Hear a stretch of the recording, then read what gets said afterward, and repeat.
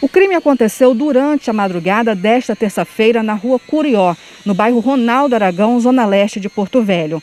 A vítima foi identificada como Guilherme Nunes de Carvalho, de 31 anos.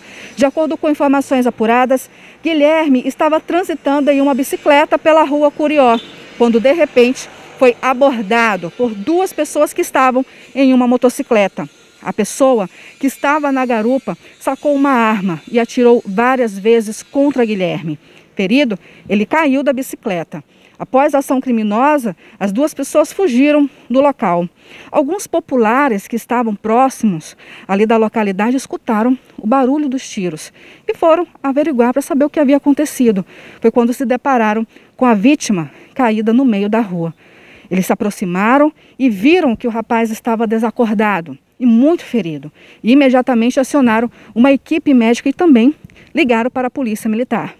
Passado alguns minutos, a polícia chegou até o local, onde buscou mais informações ali de alguns populares e logo em seguida também fez umas diligências ali pela região, mas não conseguiu encontrar nenhum suspeito.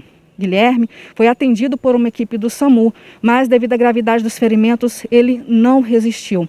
De acordo com informações da polícia, Guilherme já possui várias passagens pelo sistema criminal. Por isso, acredita-se que a motivação do crime tenha sido por acerto de contas.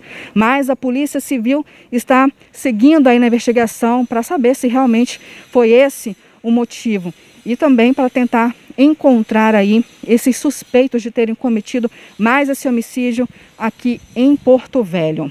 Com imagens de Eduardo Lima, Eliane Alves para o Rondônio, gente.